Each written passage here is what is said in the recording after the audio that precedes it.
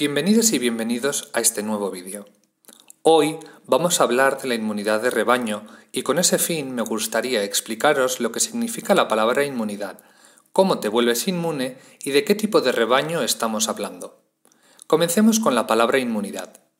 ¿Qué significa ser inmune? Ser inmune a una enfermedad significa que el bichito agresor ya no es capaz de causarnos más daño. Las personas, o mejor dicho nuestro sistema inmunológico, incluyendo aquí las diferentes células de la membrana mucosa o de la sangre, no podemos desarrollar una inmunidad contra todos los agresores, solo contra algunos. Al principio de una infección, nuestro sistema inmunológico aprende sobre el nuevo patógeno y desarrolla diferentes estrategias y trucos para lidiar con él. Después de recuperarse de una infección, nuestro sistema inmunitario se vuelve tan familiar y conocedor del atacante que puede desarrollar trucos y mecanismos de defensa perfectamente adaptados a él. En la siguiente infección por el mismo agresor, la defensa ocurre más rápido, y esta vez nuestro sistema inmunológico puede paralizar inmediatamente al atacante. Cada patógeno tiene algo como su propia huella dactilar, o como un ladrón, que siempre va de negro.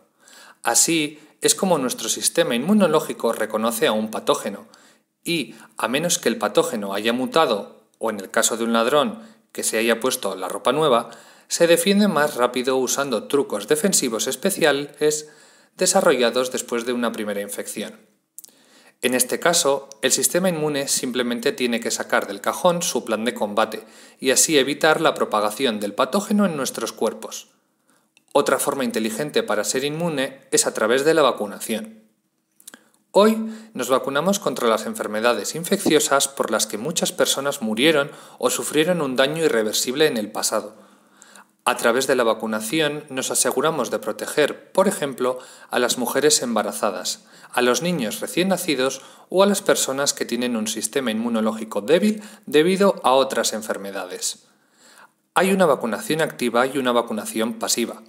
Vacunación activa significa administrar agentes patógenos atenuados o partes del patógeno que causa una cierta enfermedad infecciosa. El sistema inmunológico encuentra entonces una manera para desarrollar sus propios mecanismos de defensa.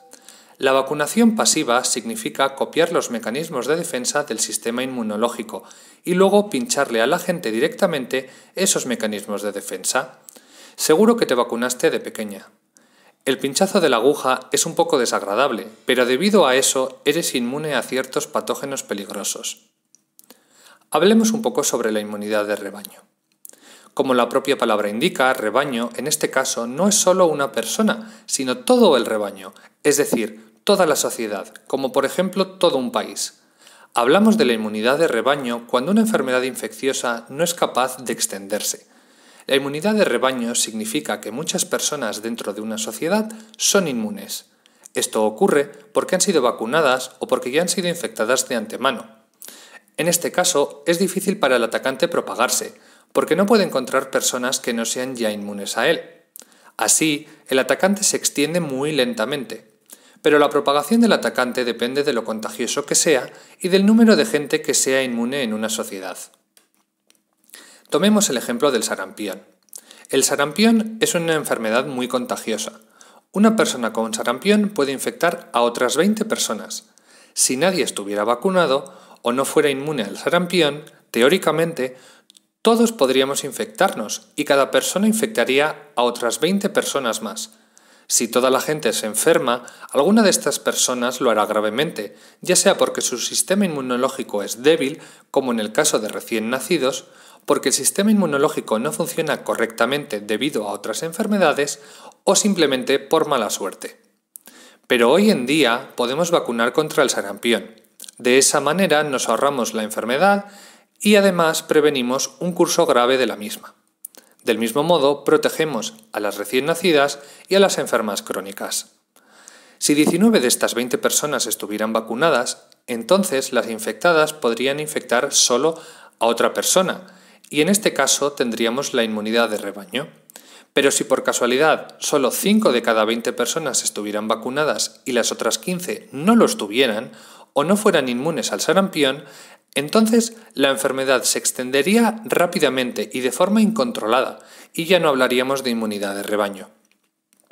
Ahora hablemos del coronavirus, que causa la infección conocida como COVID-19. Asumamos que después de que nos recuperamos de la COVID-19 nos hacemos inmunes, lo que significa que no podemos infectarnos por el mismo virus otra vez. Por el momento estamos en una situación en la que nuestro sistema inmunológico no está familiarizado con el virus, porque después de pasar de animales a humanos aún no ha infectado a la mayoría de la gente. Por esta razón no hemos desarrollado aún los mecanismos de defensa contra el coronavirus. Obviamente, hay mucha gente que se ha infectado con el coronavirus, pero comparado con la total población mundial, el número de infectados no es suficiente para crear una inmunidad de rebaño. Como el virus es algo nuevo, incluso para la investigación, no hay muchas vacunas todavía. El desarrollo de una vacuna de este tipo es muy difícil y muchos laboratorios están trabajando a pleno rendimiento para hacerlo. Durante los brotes iniciales de COVID-19 fue posible observar que en ausencia de medidas restrictivas una persona podría infectar a otras tres. También en este caso podríamos hablar de inmunidad de rebaño si una persona solo pudiera infectar a otra persona en lugar de a tres. Así, dos tercios de la población serían inmunes. Eso sí que son muchas personas. Sin embargo, gracias al cierre de escuelas y jardines de infancia y también gracias a medidas restrictivas relativas a los contactos sociales, el número de nuevos casos disminuye considerablemente. Por el momento, una persona solo puede infectar a otra persona, pero esto depende sobre todo de que nos quedemos en casa y no porque estemos hablando de la inmunidad de rebaño.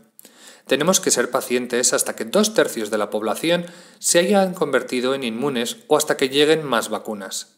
Como puedes ver, esto es bastante complicado, y el problema con todos los modelos basados en las matemáticas es que en la vida real hay demasiados factores que afectan a casi todo, y a veces no los vemos venir o simplemente no conseguimos aclarar todos los factores que desempeñan un papel importante. Es como si estuvieras imaginando una flor antes de dibujarla. Al principio crees que tienes una idea clara, pero cuando la empiezas a dibujar, la flor se ve completamente diferente de lo que imaginaste. Tal vez es porque alguien te distrajo, porque no usaste el lápiz adecuado o porque simplemente no sabías cómo era la flor que querías dibujar. Esto es todo lo que queríamos contarte sobre la inmunidad de rebaño. Esperamos haberlo aclarado. Adiós y hasta la próxima.